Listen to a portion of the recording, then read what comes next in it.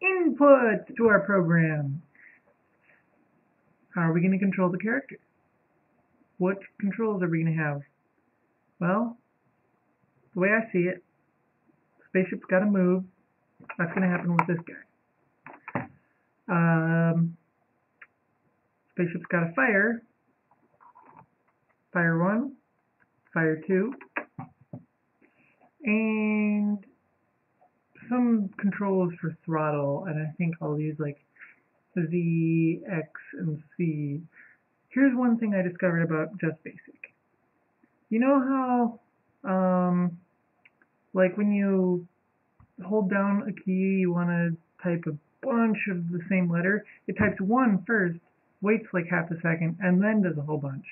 Uh, let me illustrate. Let me just open up uh, Microsoft Word here. And uh, let's say I wanted to type ah! So I hit A, A, oh, and there's the rest of it. Maybe that wasn't the best example.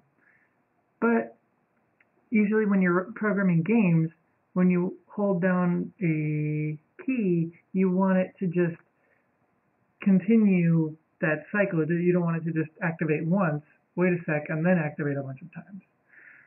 And I haven't figured out a way around this yet. Maybe it's a, a matter of Just BASIC versus Liberty BASIC. I don't know.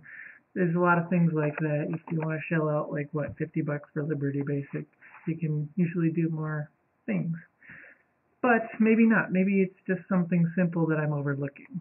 And if any of you guys who are watching this knows how to do it, tell me, then I would be very grateful. But anyway, so I'm only going to have like three tiers of, of uh, throttle, and that's all I'll use for keyboard input. And uh, let's get started with that. Uh, and it goes up into um, all these commands that are given at the beginning of the program. So whenever, when there is a character input,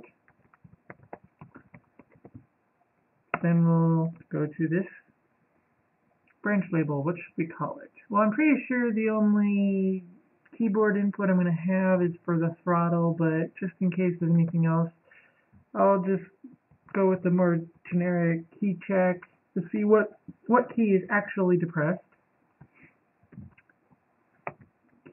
Taking antidepressants. And then for the mouse, uh, when left left button move, go to fire 1.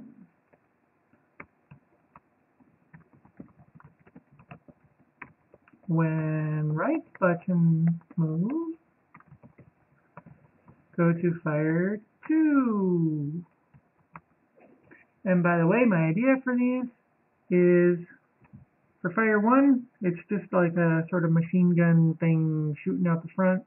Fire 2 probably will be a, like a lock-on missile, so if you can hover over your target for a couple of seconds, it'll the reticule will change colors and fire, and it'll track the, the target.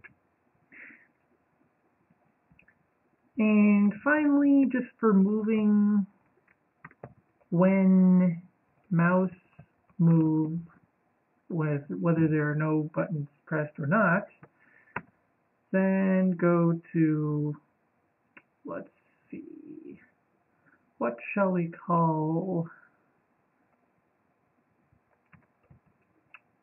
Actually, we don't need this one, now that I think about it.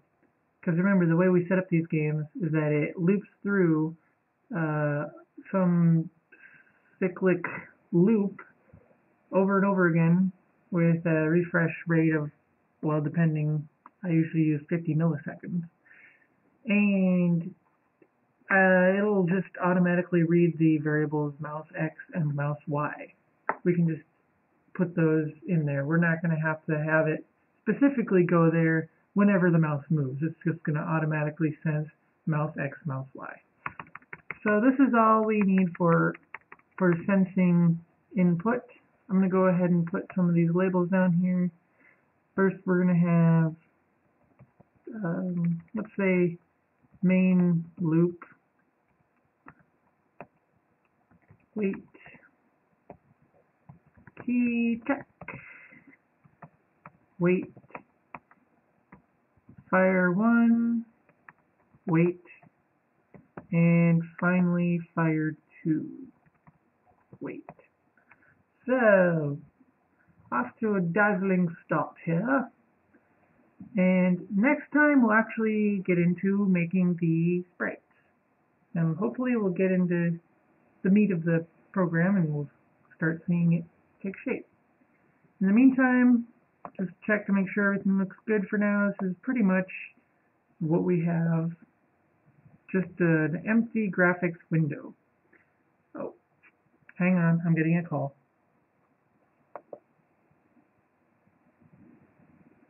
Assorted games at my place whenever.